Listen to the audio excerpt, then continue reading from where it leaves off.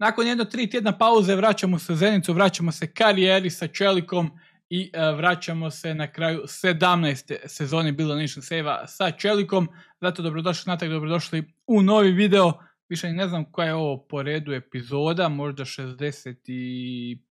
8. Mislim da je negdje oko 70 broj, to jest nešto malo ispod 70, no ono što je bitno, ovo će biti jedna vrlo zanimljiva epizoda jer dosta toga se izdogađalo u proteklih godinu dana u protekli, ovo u proteklu sezonu koja je iza nas. Novi vlasnik, novi stadion, novo, novi veliki trofej i takve stvari, tako dobrodošli natrag. Lajkajte video, komentirajte video dok još to nisam zaboravio, dok još svi ovo gledate. Iako malo vas koji ovo sada gledaju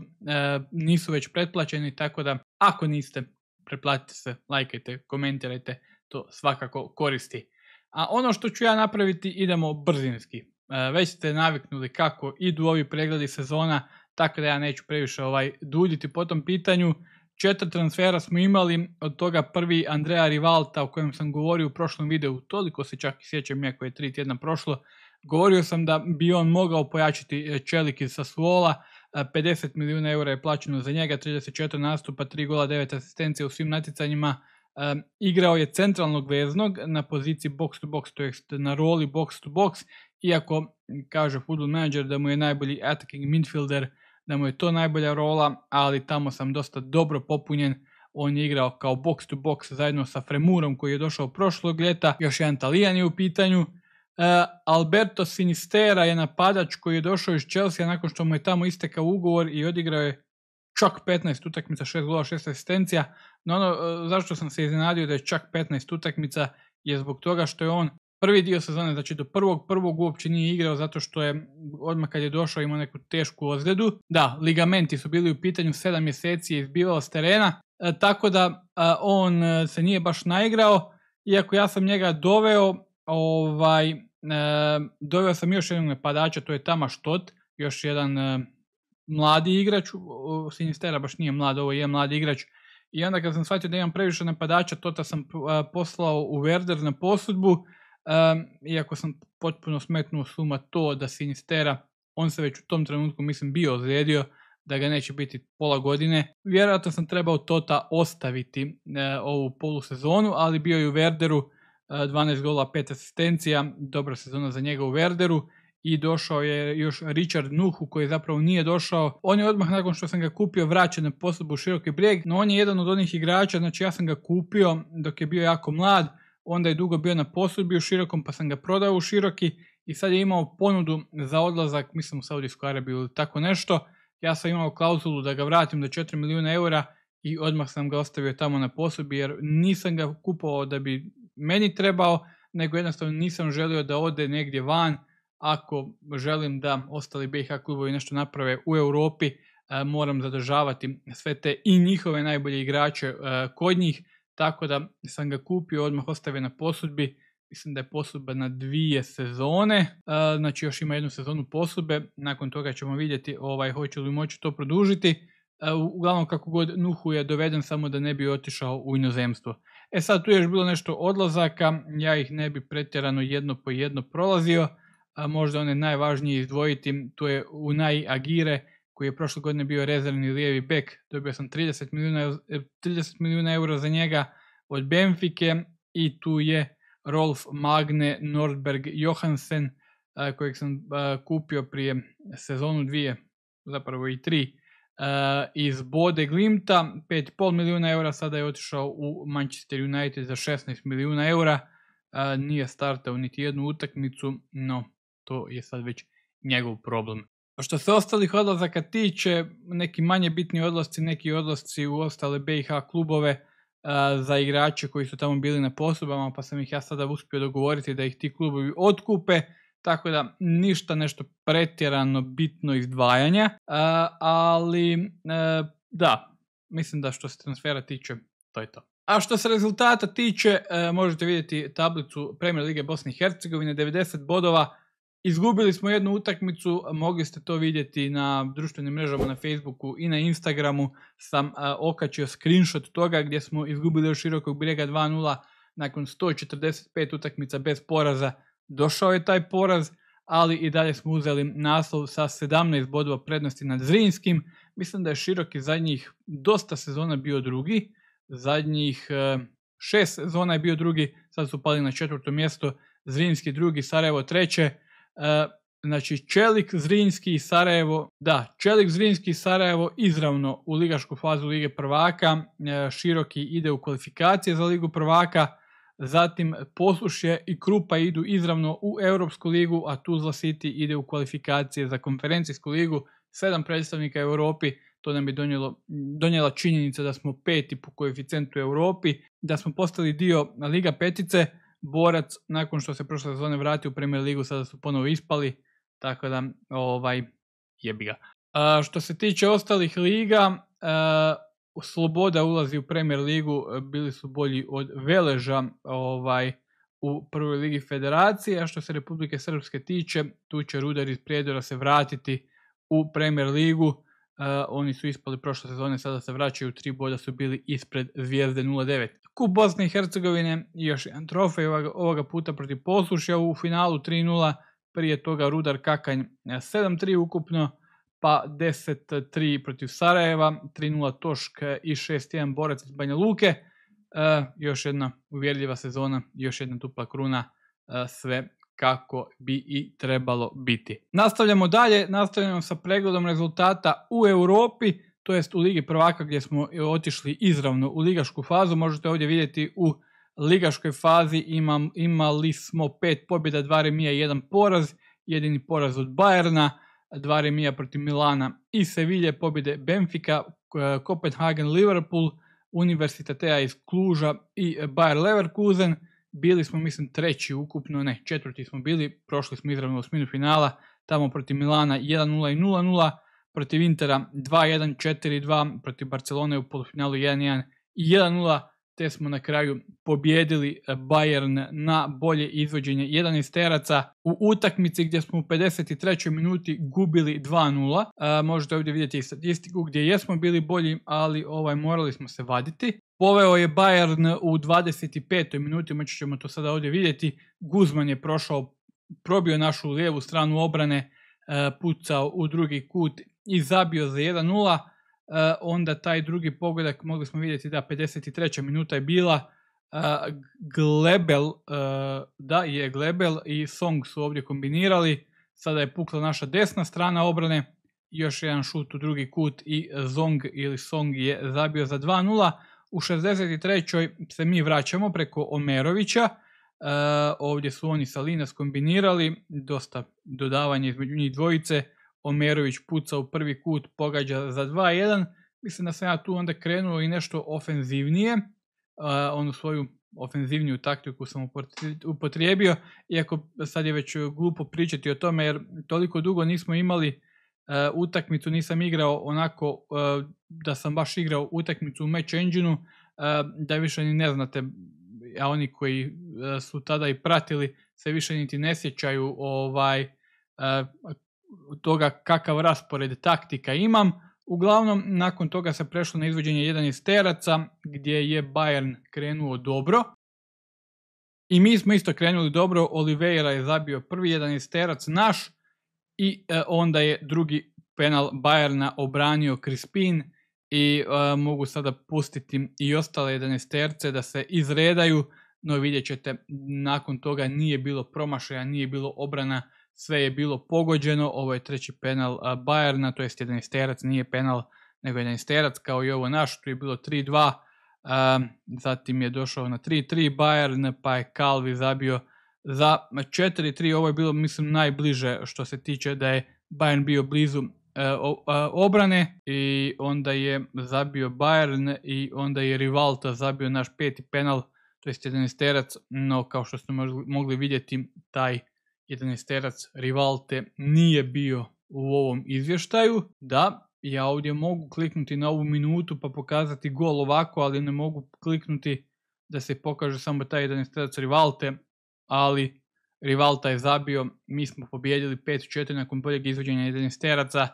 e, tako da e, treća liga prvaka je sletjela u Zenicu, e, u Istanbulu smo ju osvojili, tako da nakon 36. nakon 38. evo i 40. osvajamo Ligu prvaka, znači svake dvije godine e, smo osvajali Ligu prvaka, prvo Real pa Liverpool, a onda Bayern su nam bili protivnici. E, prva titula osvojena u Cardiffu na Millennium stadionu, pa onda u Budimpešti na Puškaš areni i sada u Istanbulu na Ataturk olimpijskom stadionu i to je zaokružilo naše dobre nastupe u Europi ove sezone no naravno imamo i, e, e, imamo i ostale BiH predstavnike u Europi. Drugi na tablici je bio prošle sezone Široki, pa ćemo pogledati njih. Uglavnom oni su krenuli od trećeg pretkola Lige prvaka, tamo su izbacili Kluž, pa su onda u playoffu izgubili od Kopenhagena 2-1 dula. E, zatim su igrali naravno ligašku fazu Europske lige 2-2 Lazio 1-1 Feyenoord 3-1 pobjeda protiv Sutjeske pa 2-0 pobjeda protiv Bešiktaša, 3-1 poraz Valencija, 2-2 remi protiv Sportinga, 2-0 pobjeda Šamrok i 4-2 poraz od Napolija i onda u knockout rundi, znači nisu ušli u top 8, u knockout rundi su izgubili od Feynorda, prvo 4-3 pobjeda kod kuće, a onda i 4-1 poraz u Rotterdamu. Zatim Zrinski koji je imao izravno sudjelovanje u ligaškoj fazi Europske lige. Prvo tri pobjede, 1-0 protiv Red Bull Salzburga, 3-0 Bode Glimt, 2-1 e, Osijek, pa poraz od Porta 2-0, 4-4 protiv Olimpijakosa, 2-1 protiv Esbirga pobjeda, 3-0 pobjeda protiv Sportinga, 3-3 remi protiv Anderlehta, išli su izravno u top 8, izravno u osminu finala, 3-1 poraz od Lila u gostima, te 0-0 kod kuće remi, tako da e, su i oni na svom prvom ispitu u knockout e, u, sustavu onom kasnijem na ispadanje e, kao što je Široki izgubio u knockout rundi, e, Zrinski je izgubio u osmini finala Europske lige. Tu je i Krupa, oni su krenuli od trećeg pretkola konferencijske lige, tamo su dobili ove nesretne Islanđane, pretpostavljam po imenu da jesu Islanđani, na tome ćemo se zadržati, jesu Islanđani su, onda su u playoffu dobili Čukaljačke, 3-1 su izgubili u Srbiji, a onda 4-0 pobjeda kod kuće za plasman u ligašku fazu konferencijske lige, 2-2 protiv Helsinkija, 2-0 poraz od PSV-a, 4-1 poraz od Apoela, 2-0 e, pobjeda protiv Škendije, 0-0 Larne, 3-2 poraz od Šahtara, tako da s tih 5 bodova naravno nisu ušli među 24, e, te se njihova europska sezona završila u ligaškoj fazi e, konferencijske lige. I na kraju imamo jedan jako dobar rezultat, a to je Sarajevo, koje je krenulo od drugog pretkola Europske lige. Mol Fehervar dosta ovako dvije uh, golgetarske utakmice, 6-2 kod kući i 6-4 u gostima, znači 18 golova u te dvije utakmice je palo. Zatim treća pretkola Europske lige 3-0 protiv Šahtara u gostima i 1-0 kod kuće još jedna dvostruka pobjeda i onda u playoffu Europske lige dva, dva poraza po 2-1 protiv Sportinga, tako da je Sarajevo preselilo u konferencijsku ligu. Pobjede 5-1 Nica, 4-0 Young Boysi, pa remi 1-1 Istra, 2-2 Aze Alkmaar, poraz od Olborga 3-1 te remi protiv Bolonje 2-2. Ušli su među 24, u knockout rundi igrali protiv Istre 4-1 i 1-0 pobjede zatim osmina finala kod kuće protiv Freiburga 1-1 e, u gostima pobjeda 3-2, u četvrtfinalu pobjeda, kod, e, pobjeda u gostima protiv Šturma iz Graca 1-0, e, kod kuće su izgubili 2-1, ali su prošli na bolje izvođenje 1 iz Teraca, u polufinalu PSV pobjeda kod kuće 2-1, 2-2 u Eindhovenu, te je Sarajevo s 2-1 u finalu pobjedilo Villarreal. Finale se igralo u Stuttgartu, e, tako da zapravo možemo i ovdje vidjeti golove. Poveo je Villarreal u petoj minuti, vidjet ćemo sada taj pogodak, ne znam te pogodke tako da gledam ih sada po prvi put kao što ih i vi gledate. E, Girsik ili Giršik je zabio u toj petoj minuti, zatim smo u 19. minuti kada je Sarajevo izjednačilo, e, Marino je došao do lopte, nije mi baš poznato, ovo je vjerojatno njegova prva sezona u Sarajevu, jer nije mi baš poznato ime. I onda u 83. Yamaguchi je ubacio iz kornera, to se odbilo, ali onda Alijev, to je naš igrač na posjebu u Sarajevu, ponovo do Yamaguchija, ovaj do Delgada, Delgado zabija Sarajevo u Stuttgartu osvaja konferencijsku ligu. Što se ovako ekipe Sarajeva tiče, e, naš igrač je Elvin Alijev, to je Azerbajdžanac koji je zapravo uzeo španjolsko državljanstvo, jer mislim da je krenuo u Španjolskoj, da, iako mislim kad sam ga ja kupio da je kao prvo državljanstvo imao Azerbajdžan, kako god on se kod nas nije uopće naigrao, e, da nije uopće igrao, zatim je proslijeđena posudba u Sarajevu gdje je već treću sezonu standardan, sad ovo baš treću i nije toliko standardan koliko je bio prve dvije, tu je od igrača naših bivših i e, Jelić, e, koji je bio tamo dugo na poslu ovu zadnju sezonu su ga otkupili. E, kod nas je došao iz Hrvatskog dragovoljstva. Iz Hrvatskog dragovoljca inače među vremenu zaigrao i za reprezentaciju Bosne i Hercegovine. Basenasi ili Basanasi je isto jedan igrač koji je bio kod nas. Ove sezone je također otkupljen. Ima tu sad nekoliko, ja bih rekao, zanimljivih igrača. Na primjer, ovaj Ojvind e, Kampelin je igrač koji je ponikao u Sarajevu, ali ima državljanstvo Farskih otoka. Sada igra za reprezentaciju Bosne i Hercegovine, ali je dugo bio kao primarna, kao primarna nacionalnost su bili Farski otoci. što se ostalih igrača tiče, um, Unuha Pozo Pablo Herrera je stoper, Dener, Brazilac, centralni vezni, Retrainer, Ira, e, Irac je isto centralni vezni e, i tako dalje, tako dalje, onako zanimljive, zanimljiva ekipa, ali ništa posebno mi se to ne čini. Ovaj Yamaguchi, desetka, koji je izvodio korner, mislim da bio asistent za onaj zadnji gol u finalu, milijun eura su ga E, platili. Onako, zanimljiva ekipa, ne bih rekao da su iti blizu nas, što, e, što o tome govori, ovaj, govore i rezultati i razlika na prvenstvenoj tablici. Kako god Bosna i Hercegovina nakon ovog rezultata, što je najbolji rezultat Bosne i Hercegovine, 20,2 koeficijent, ostaje top 5 Liga Europe i to sa dosta velikom prednošću od 11 bodova ispred Francuske. E sad, problem je što je to nekakvih 10 bodova iza Njemačke koja je četvrta, tako da Bosna je tu peta, niti gore niti dolje. Zatim, da, Francuska sa 73 je ovaj, šesta, zatim će tu biti nakon što se sve update Srbija sedma, Danska osma, Portugal 9 i Hrvatska deseta, Nizozemska je pala na 13. mjesto, ali mi smo ovaj peti, to nam je bitno, ostaje ono što ovaj kakva je situacija i trenutno. Tri kluba izravno u Ligi prvaka jedno o, jedan e, ovaj u kvalifikacijama dva kluba u uh, Europskoj ligi izravno i jedan klub u playoffu konferencijske lige. E, to je situacija koju ćemo imati sad već od ove sezone koja počinje. A što se rezultata tiče, ostali su mi još e, za prezentirati rezultati s reprezentacijom. I ono što smo u prošlom pregledu vidjeli su pobjede protiv Andore i Estonije, to smo još obuhvatili prošlosezonskim pregledom. Nakon toga na uh, jesen 2-0 pobjeda kod kuće protiv Srbije, što je bilo jako bitno, jer nekako sam procijenio da Njemačka je u toj grupi prva, tako da s njima ovaj, se ne moramo tući i da ćemo se mi i Srbija tući za drugo mjesto i prolazak na Europsko prvenstvo, tako da ova pobjeda 2-0 protiv Srbije bila jako bitna. Onda poraz od Njemačke 2-1, zatim očekivane pobjede protiv Andore i protiv Estonije i nakon toga je došao poraz na Marakani 1-0 od Srbije gdje koliko se sjećam, a nije da, baš da se dobro sjećam, da, htio sam reći da smo bili bolji, ali nismo bili bolji nije ni Srbija bila bolja, jedna je onako izjednačena utakmica, Srbija je zabila taj gol, pobjedila i Srbija je tako uzela drugo mjesto u grupi. Ono što je njima najviše pomoglo je to što su oni, e, to je bilo u desetom mjesecu, oni su u Njemačkoj dobili Njemačku 3-1 i to su ta tri boda koja su otišla na stranu Srbije, jer inače da je Njemačka dobila i tu utakmicu, kao što sam ja očekivao da će Njemačka sve dobiti,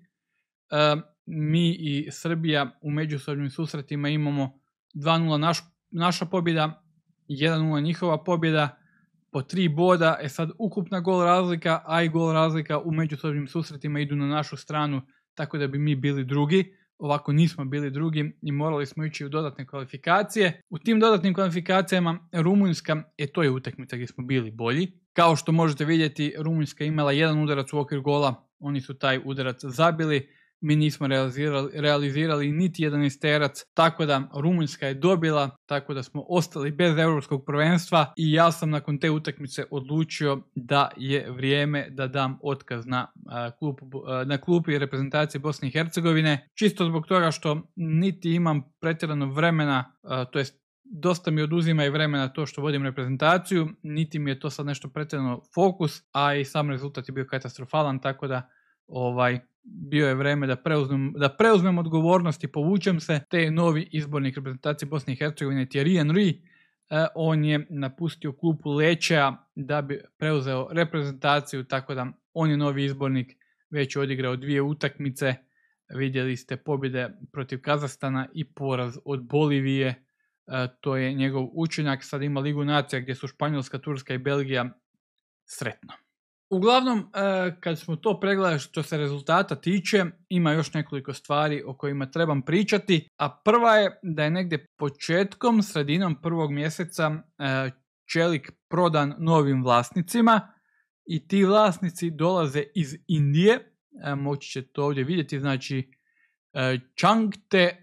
Fara, Ferao, ajmo reći da se to tako čita, on je novi predsjednik, e, managing director je Pavle Radović koji je iz Bosne i Hercegovine, a dva direktora su Stanley Gupta i Anthony Sarma ili Sharma, još dva indica i oni su preuzeli vođstvo ovaj, Čelika. Ovo je vijest koja mi je došla, mm, to čak nije bilo četvrti prvi kao što ovdje gore piše, nego mislim nekoliko dana prije e, je došla ta vijest da e, se razmišlja o preuzimanju i ovdje možemo vidjeti ovu cijenu koja je prikazana, to jest da su Indici za čelik platili 1,97 milijardi eura, dosta dobar iznos za klub iz Bosne i Hercegovine, e, tako da to je bilo to što se tiče tog dijela. E, također, ovo je sada poruka koju sam dobio nakon što je došlo do preuzimanja, ovo je četvrti prvi. I onda ovaj screen gdje ono što mi je ovdje bilo zanimljivo je da je pisalo da će novac biti investiran u razvoj youth training facilities i dalje 74 milijuna o tom potom, ali youth training facilities, ono što je bilo zanimljivo što sam ja kasnije pokušavao dobiti je da sam tražio nove vlasnike da se investira u youth facilities i oni su to odbili. Iako ovdje piše da će se novac uložiti u taj dio, a, sad ja ne znam, e da, tu su oni to odbili sa obrazloženjem da žele novce trošiti na igrače koji jesu odmah spremni za prvi tim. E sad, obzirom da sam ja krenuo u onaj, imate onaj razgovor sa predsjednikom gdje ga pokušavate nagovoriti, i nakon mog prvog argumenta su oni odmah rekli ništa od tog, inače dobijete onu mogućnost da e, kliknete jedan argument zašto želite da se nešto napravi pa vas oni odbiju, kažu ne, mislimo da to nije dobro, ali onda možete nastavljati klikati po onim ostalim argumentima i nadati se da će se nešto promijeniti. Oni su mene odmah nakon prvog argumenta presjekli i više nisam imao nikakvih ovaj, mogućnosti. I ono što sam ja napravio tada je ono što vam se u donjem desnom kutu pojavi kod takvih situacija i ono leak to press, leak to media ili tako nešto, to jest da priču o tome da vlasnici ne žele ulagati u razvoj, u ovom slučaju youth facilitiesa možete nekako likati medijima, da se o tome počne pisati u medijima i to ja jesam ovdje napravio, ovdje vidite da je bila kao nekakav intervju sa Almirom Muratovićem iz The Bosnian Football Gazette. Uglavnom, odmah nakon što sam ja tamo kao optužio, ajmo reći vlasnike preko medija da oni ne žele ulagati, taram, 10 milijuna eura je predviđeno za ulaganje u youth facilities, tako da uspio sam nešto ovaj, napraviti time. Ja sam se moram priznati na, i u jednu ruku nadao da će nakon toga doći do eskalacije ovaj odnosa između mene i novih vlasnika, da će mi možda dati i otkaz, jer mi se više ne da ovo igrati baš nešto pretjerano, ali dobio sam Youth Facilities investiciju, tako da to je u redu, e, pogotovo zbog toga što nekakvih četiri mjeseca nakon toga je e, došli su planovi za novi stadion, e, tako da sad ono što sam govorio da mi se ovo više i ne da igrati, to više nije točno, jer dobili smo stadion koji će se zvati po meni, znači FM Mistios Park, jer se u uh, Football Manageru zovem FM Mistios, tako da se po tome nazvao i stadion, uh, tako da ovaj, cijena izgradnje je mizarnih 9 i nešto milijuna eura, zapravo ulaganje u novi youth facilities će biti veće od ulaganja u izgradnju novi, za novi stadion, što je dosta bizarno. No kako god. Ono što me malo ovaj, žalosti, samo 26.000 ljudi će stati na taj stadion. Trenutno Bilino polje prima nekakvih 17.000, rekao bih. Mislim da sam vidio negdje tu cifru. Tako da i nije nekakav, nekakvo veliko uh, ovaj, uh, povećanje, ali imam stadion nazvan po meni, gradimo novi stadion koji će doduše biti gotov tek u ljeto 42. I ako ja napravim ono što sam prije nekoliko videa rekao da ću napraviti, to da ću odigrati 20 sezona, to znači da bi na ovom stadionu trebali odigrati baš tu zadnju sezonu 42-43, to bi bila 20. I nakon toga bi zaključili ovu karijeru, znači imam još tri sezone ali ove prve dvije od te tri e, ćemo i dalje igrati na Bilinom polju. I to je zapravo to, znači novi stadion, novi vlasnici, malo nategnuti odnosi s vlasnicima, ajmo reći, iako je zapravo sve na kraju završilo onako kako se ja želio da završi, tako da zna se ko je gazda u ovom klubu. E, I to niti vlasnici koji su platili za taj klub 2 milijarde eura ne mogu promijeniti. I to je zapravo to. Možda sam nešto zaboravio u ovom pregledu, e, čak sam uvjeren da jesam zaboravio, jer gledam sada koliko traje snimanje ovog videa, a to je da sam trenutno na 37 minuta snimanja ovog videa. Inače sam ja znao video snimati po sat i 10 minuta, otprilike to, znalo, to je znalo trajati, pa ja to kasnije srežem one nebitne dijelove i izbacim video u trajanju od nekakvih 40 do 45 minuta, barem me tako nekako sjećanje služi, možda čak to i nije tako. Zapravo je, zadnji video 47, prije toga isto 47, prije toga 52. Tako da od tih nekakvih sati nešto ja složim 45 do 50 minuta video. Ovo će svakako biti manje jer snimam 37 minuta, tako da rekao bih kad sve izbacim ono nebitno, ostaće nekakvih 30-ak. Iako vjerojatno je to zbog toga što vidjeli ste što se tiče pregleda rezultata u Europi, nisam previše radio drame oko toga. Bilo je, evo vam odmah sve rezultate, tu su, nećemo sad ići otkrivati rezultat po rezultat, gledati highlighte po highlighte, pokazao sam highlighte finala, to je u redu. Čelik je sada već ovaj etablirani europski velikan koji košta 2 milijarde eura, ponovit ću još jednom,